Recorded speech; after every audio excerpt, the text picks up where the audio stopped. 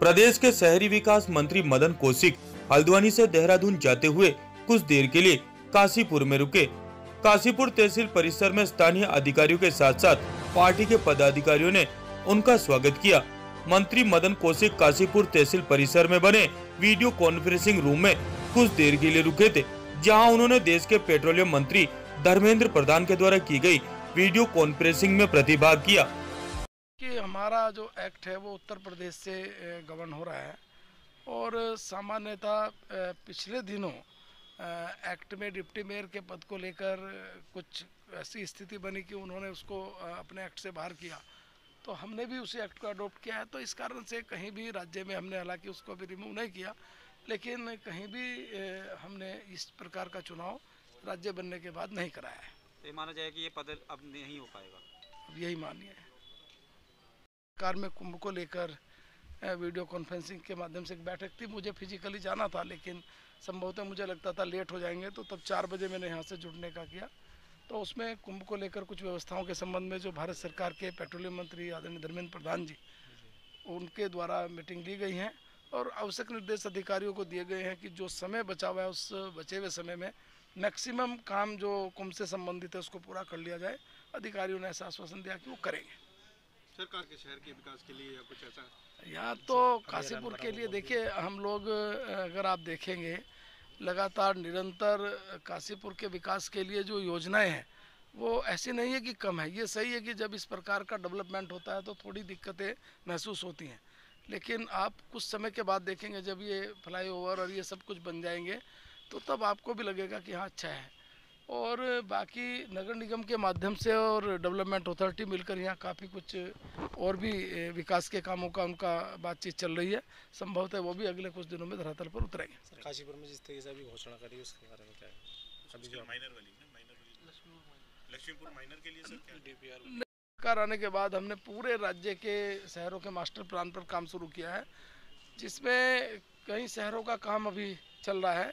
जिसमें उसमें master plan के बाद जोनल तक हम पहुँच गए हैं। कुछ में अभी हम और आगे पहुँचेंगे क्योंकि एक बड़ा काम होता है ये।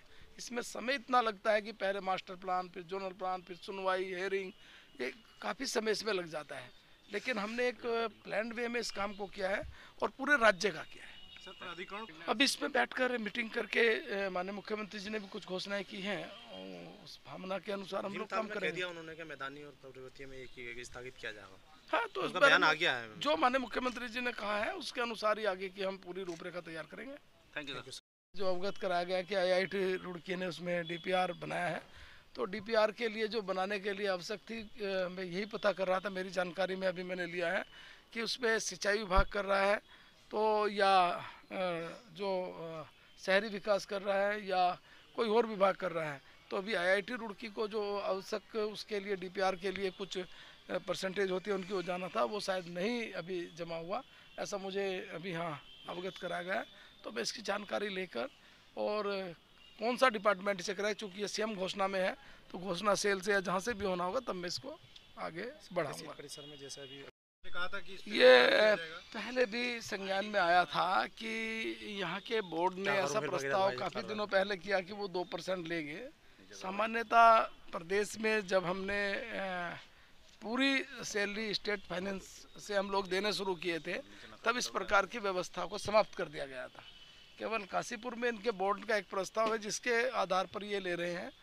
तो मैंने इसको उस समय बैठक ली थी, मीटिंग ली थी, तब ये बात आई थी कि चूँकि बोर्ड का प्रस्ताव है और बोर्ड के प्रस्ताव के आधार पर ये ले रहे हैं तो और ये पुरानी आधार पर चल रहा है, इसलिए बोर्ड के प्रस्ताव के आधार पर लिया जाता रहना चाहिए, ऐसा इन्होंने लिख के दिया था।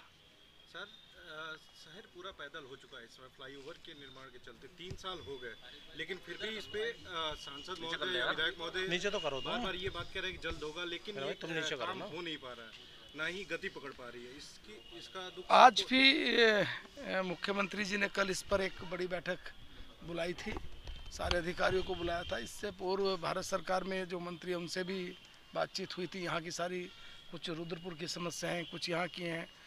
तो ये सब समस्याओं को लेकर और मुझे अभी जानकारी नहीं ली कि कल की मीटिंग में, क्योंकि मैं इधर दौरे पर हूँ, क्या रहा होगा।